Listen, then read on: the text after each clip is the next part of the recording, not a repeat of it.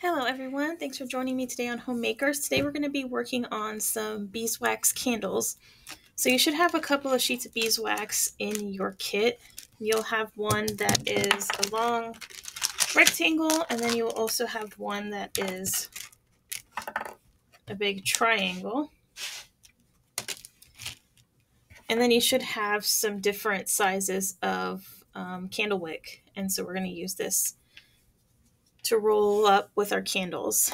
I'm going to show you a couple of different ways to make candles and then you can take your kits and do what you like. So depending on the temperature inside your house, these may be kind of stiff. So if you notice that um, they feel kind of like they're crackly, you may want to heat them up with a blow dryer just a little bit. Um, it's pretty warm in here, so I won't need to do that. So the first thing you're going to do is decide what size you want your candle. So if you just roll this rectangle up, you're going to end up with a candle about this size. It's about four inches tall, a little bit over four inches, and this is just one piece rolled up.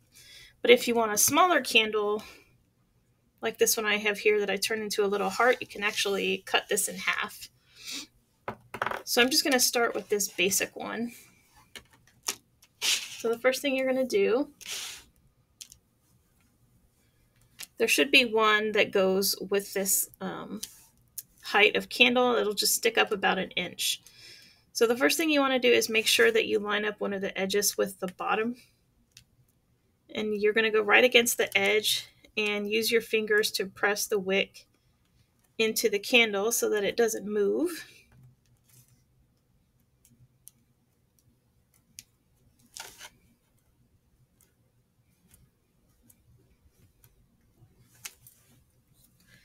And then from here, I'm just going to turn it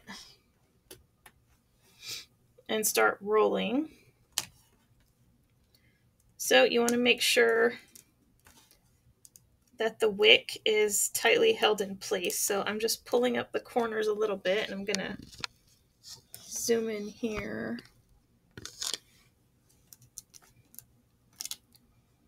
And if you're doing this and you're noticing that it's cracking, you this is a point where you might want to heat it up a little bit. But I will say at first when you're pinching these really, um, pinching it really tightly, it probably is going to crack a little bit. As the candle gets bigger, it'll get easier to roll. So I've got my wick in there and I'm just going to start rolling. If yours does crack, you can put it together. The heat from your hands is usually enough to warm it up enough that you can squish the wax back together.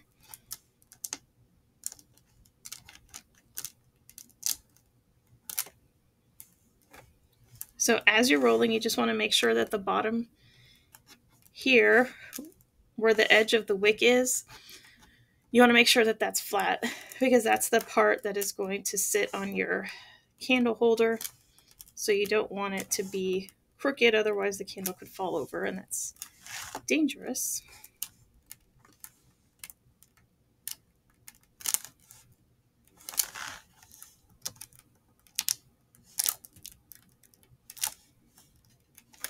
And if you're wondering, you can occasionally stand it up and just make sure that it's doing what it's supposed to be doing.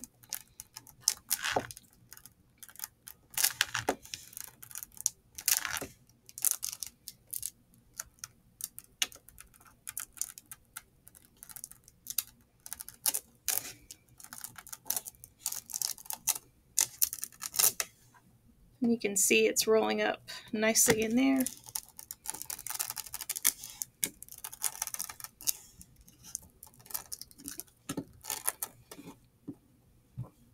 So we've got our candle. Now before you light this, you will want to trim it to about half an inch. You don't want it to be too long. And then once you finish it off, you're just going to press the edges into the candle with your fingers.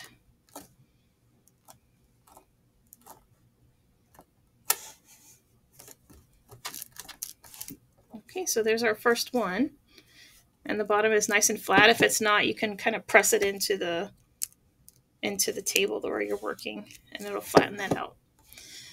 All right, so the next one I'm going to work on is going to end up shaped like this. So it's kind of a tree shape. And I've got a piece there. Take that off. Kind of a tree shape. It's the same thing. We're just going to roll our candle up. So you'll have a longer wick.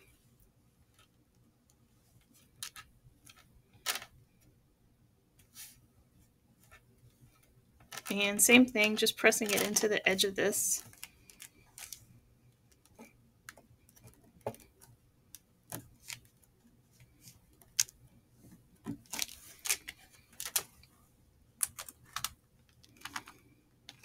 And making sure that I roll this over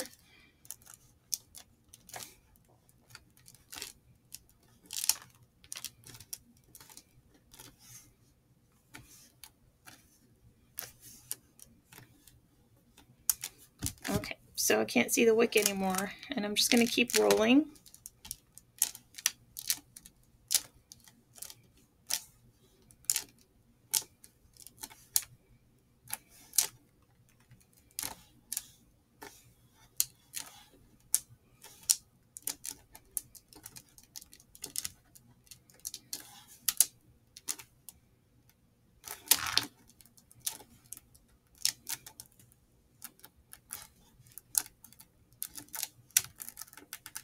And like I said, it does get easier to roll once the candle's bigger. So you can see it's starting to get that tree shape.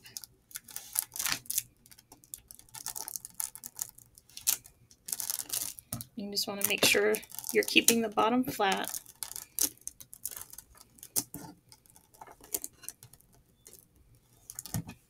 Okay, I'm going to press the edges into the bottom here.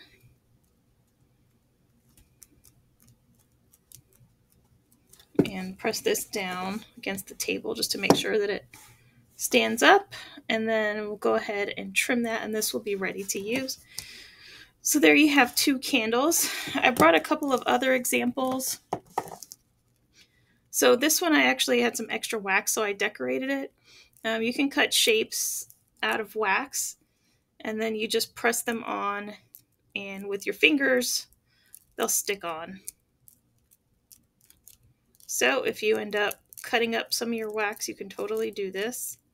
Um, your, your candles might just be a little bit smaller if you cut some of the wax off, but that's fine. Um, this one was actually made as a kind of a tea light shape. And then I went around with my hands and just pressed it into a heart shape. So that's a smaller, smaller version of the candle. Right, and that is it for this craft. Um, next month, we're going to be making miniature terrariums. If you have any questions about this month's craft, go ahead and shoot me an email, and I will see you next time. Thank you.